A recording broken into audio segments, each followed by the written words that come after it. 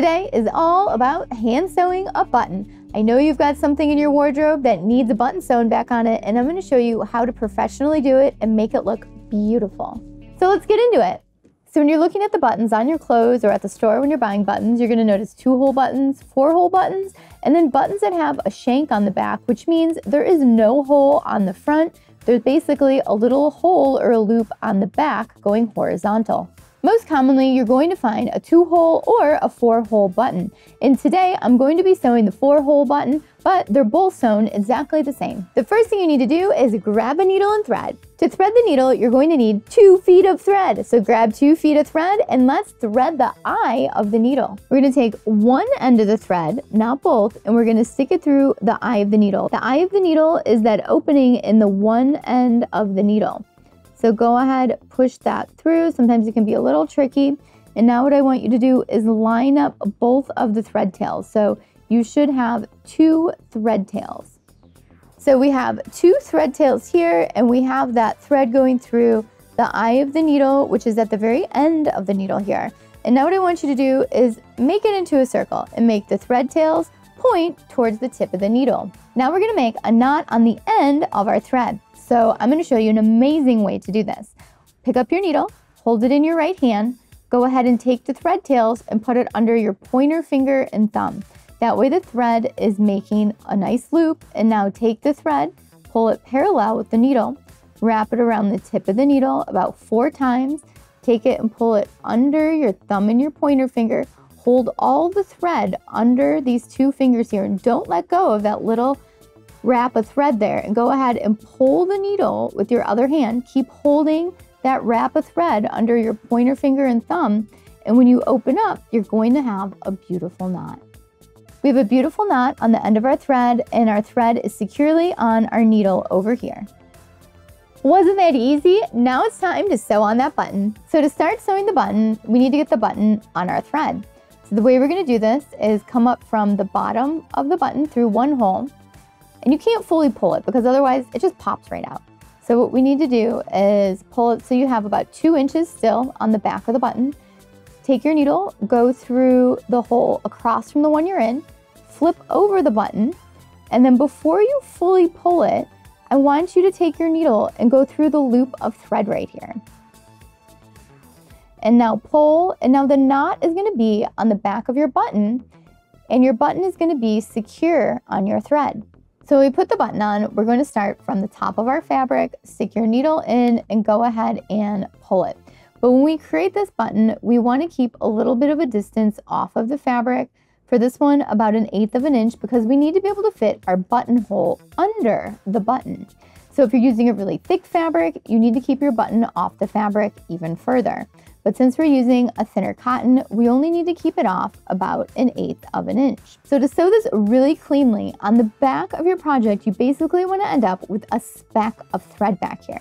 And the way we're gonna do that is always making sure that we're coming in and out of the same little area. Just make sure it's not the exact same hole, otherwise it will come apart. So now when we're gonna go back through to the front, we're gonna go back in right next to where we came out, flip it up, and then go ahead and come back out of that hole. Now we're gonna go through the opposite hole a second time, pushing the needle all the way to the back. And when you turn it over, make sure the needle is coming out roughly in the same area where you came out before. And if it's not, just move it to make sure it is.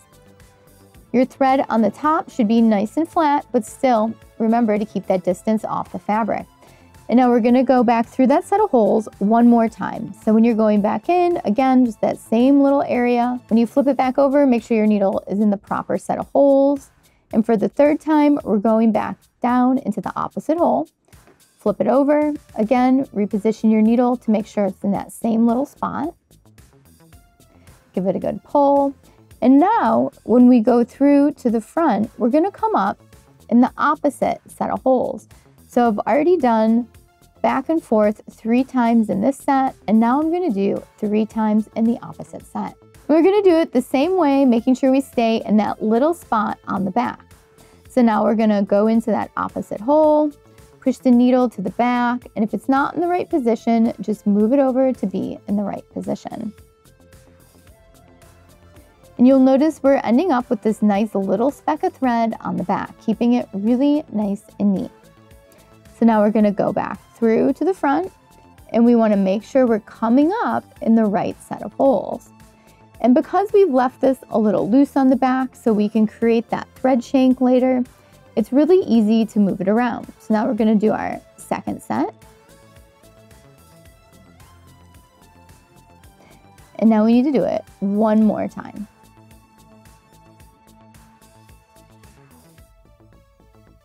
Okay, so we have went up and down three times into each set.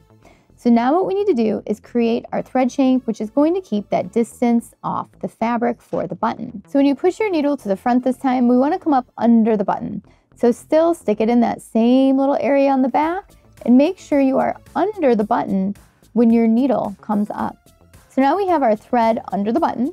And what we wanna do is take our thread and wrap it under the button so that way it makes the thread on the top nice and taut and it's going to create a nice little distance for the button to be off of the fabric so that way we can fit a buttonhole under there later. So after you get the thread under the button, should look something like that. We want to take the needle and go to the back. Again, making sure you're staying in that same little spot. Give it a nice firm pull. Make sure your fabric isn't bunching up. Make sure it's nice and flat still. And now we need to make a knot. So we're gonna go through a little bit of the fabric, pull, but before you fully pull, take the needle and go through the loop of the thread and pull. You get a nice knot, and I want you to do that one more time, just for good measure.